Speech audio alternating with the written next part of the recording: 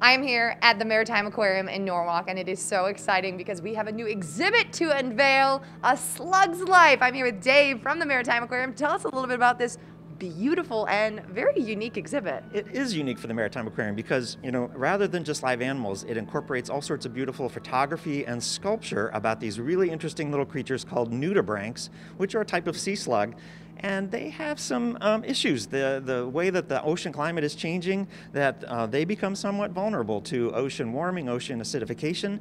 So by using these uh, pictures, the beautiful photographs and portraits, and also these sculptures by a sculptor from New Haven named Gar Waterman, we get people to slow down and say, wait, what are these little creatures? Rather than just looking in a tank and maybe not seeing them right away and moving on to the sea turtles and the sharks and things like that. So we want to slow them down, and these beautiful sculptures and photography help do that. I was going to say, because it's not very often that you see sculptures mixed with these living creatures and especially i mean these sculptures are beautiful.